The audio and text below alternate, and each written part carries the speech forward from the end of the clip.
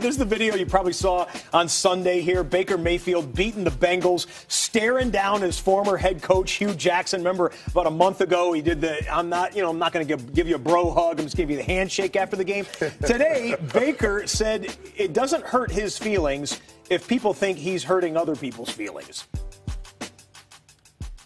I don't get why people have a problem with football being a competitive sport. You're supposed to play with emotion. You're supposed to play with passion. Quite honestly, if you don't like it, whatever. It's football's not meant to be a soft game. Could care less.